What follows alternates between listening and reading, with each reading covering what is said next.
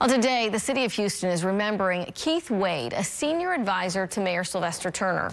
We've learned Wade died from complications related to the coronavirus. Channel 2's Kathy Hernandez is live with the tributes that have been pouring in for this civil servant whose career in Houston began in the 70s. Kathy, good morning.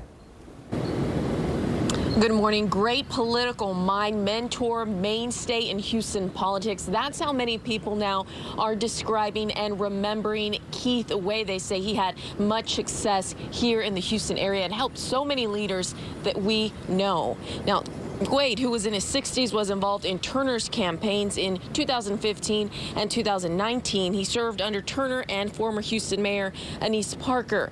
Wade spent his career behind the scenes working with some of Houston's most prominent leaders. City Council member Letitia Plummer, who previously announced she too had tested positive for COVID-19, knew Wade since she was a child.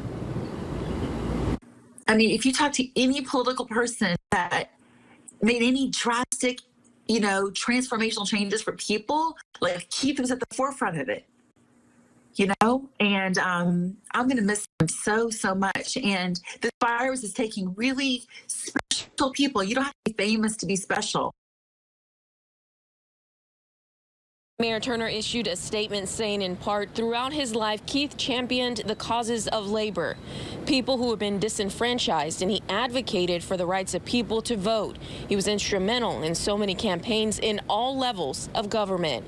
In a tweet, Con Congresswoman Sheila Jackson Lee confirmed Wade had died from COVID-19. She wrote, quote, Keith Wade was a quiet and even-handed leader. He was a political strategist without comparison, and many of us in public service can attribute attribute our successes to him.